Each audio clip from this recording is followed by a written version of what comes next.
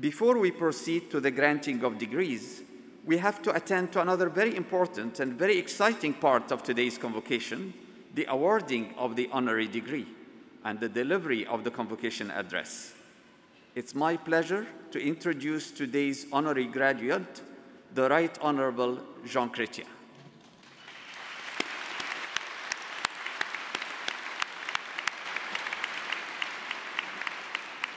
Uh, due to scheduling conflicts, Mr. Chrétien, unfortunately, is not able to be with us in person today, but we have arranged for the degree to be awarded and for Mr. Chrétien to provide the convocation address via video.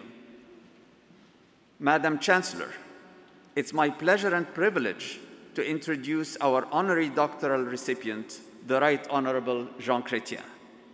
Mr. Chrétien began his career in federal politics when he was elected as a member of the House of Commons in 1963.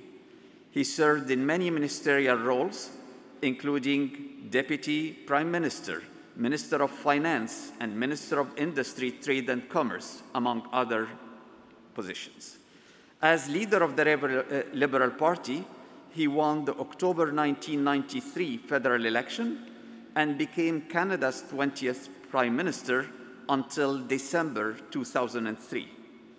Mr. Chrétien's work and public service has been recognized with many awards and honors, including the appointment of the Companion of the Order of Canada, the Order of Merit, and honorary doctorates from numerous universities in Canada and throughout the world. Madam Chancellor, in recognition of his distinguished leadership in Canadian government, I request that you confer the degree of Doctor of Laws, honoris causa, upon the Right Honorable Jean Chrétien. Pleasure. By virtue of the authority vested in me by the Board of Governors and upon the recommendation of the University Senate, I confer upon you the Doctor of Laws honoris causa. It is a particular honor for me, for someone who worked for Mr. Chrétien, to actually get to do this. So now we will hear from Prime Minister Chrétien. Bonjour tout le monde. Thank you for that introduction. Dear graduates, it is an honor to be with you on this most special day of your lives. The theme of today's graduation is leadership and public life.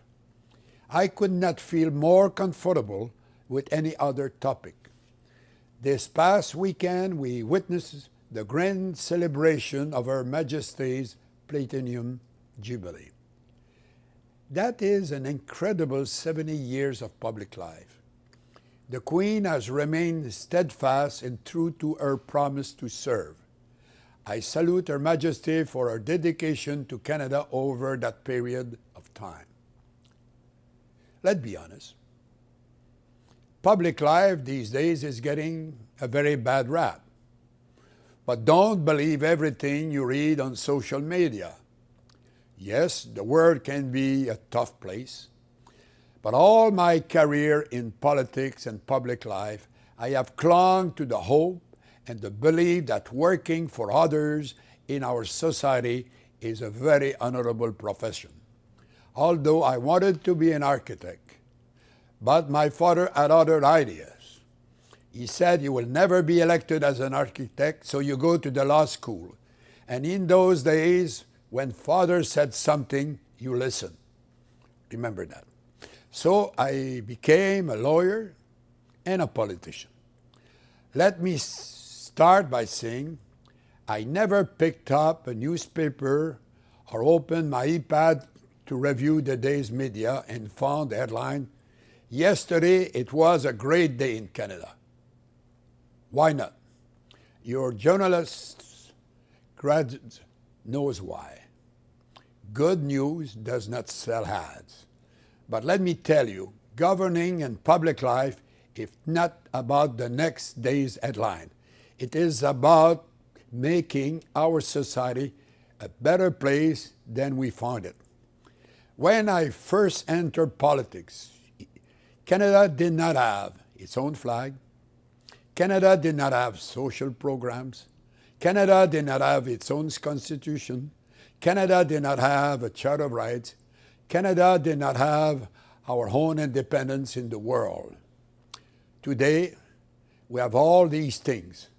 And I would like to think that I left my country in a much better place than I found it. That is the challenge I issue today to you graduates. Get involved, either in public life or volunteer. Contribute to your community, to your city, to your province or your country. Canada is a great experiment that many from around the world will do anything to be part of.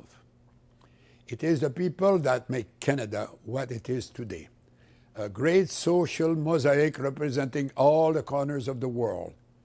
That is why I challenge you make your country better than you find it today. Give back to your country at some point in your careers.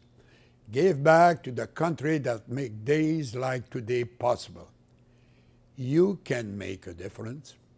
Don't let anyone tell you different. The future is yours. Take it. Take for yourself and take it for your fellow Canadians. We live in what I have always said is the best country in the world. Thank you, Carleton, for this honor. I will cherish it. Vive le Canada et vive les Ravens. Merci beaucoup.